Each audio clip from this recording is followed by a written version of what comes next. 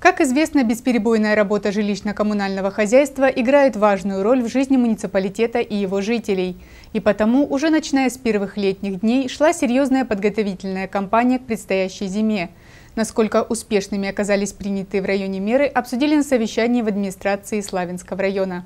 Руководители энергоресурсоснабжающих и жилищно-коммунальных предприятий, представители всех заинтересованных служб и районной администрации, главы поселений муниципалитета были приглашены на совещание на тему об итогах подготовки к осенне-зимнему периоду объектов жилищно-коммунального хозяйства и социальной сферы Славянского района.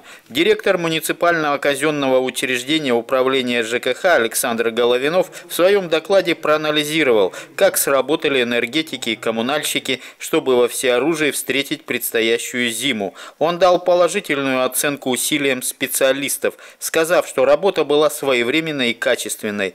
Утвержденный план мероприятий по подготовке объектов ЖКХ и социальной сферы к предстоящему осенне-зимнему периоду выполнен практически полностью. В настоящее время предприятиями ЖКХ и ТЭК выполнены мероприятия по подготовке к осенне-зимнему периоду на 99%. Небольшая часть мероприятий МУК теплокомплекс стадии завершения. Всего по подготовке к ОЗП выполнено мероприятий на сумму порядка 88,6 миллиона рублей. При подготовке систем теплоснабжения к отопительному периоду выполнено мероприятие на общую сумму 8,7 миллиона рублей, в том числе за счет средств муниципального образования Славянский район 3,8 миллиона, за счет средств теплокомплекс 4,8 миллиона. Заменено трубопровода в сети теплоснабжения в однотрубном исчислении более 3 километров, заменено изоляция тепловых сетей более 5 километров.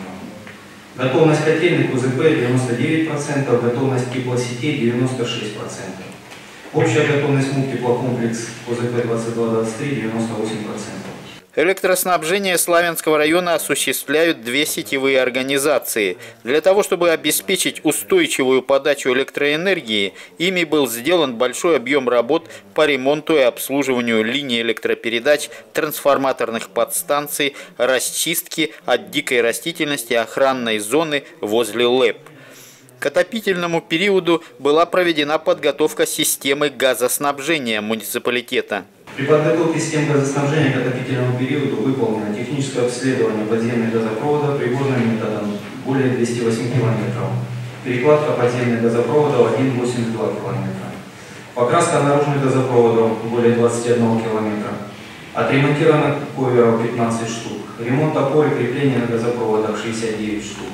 Обрезка деревьев веток 87 адресов. Диагностирование ШГРП 35 штук. Э, ремонт провисших и прогнутых газопроводов 10 штук. Доливка футляров на распределительных газопроводах 16. Комплектация штатного аварийного запаса и приведение в готовность транспорта и специальных механизмов. Кроме того, было рассказано о проведенной подготовительной работе по водоснабжению, приняты меры для ликвидации последствий неблагоприятных погодных условий, гололеда или подтопления. Также в других выступлениях была озвучена более подробная информация по подготовке учреждений образования и теплокомплекса. Как гласит народная мудрость, готовь сани летом, а телегу зимой. Подводя итоги совещания, заместитель главы Славянского района, начальник управления жизнеобеспечения транспорта и связи Константин Левченко отметил, что зима не прощает ошибок и нужно приложить все усилия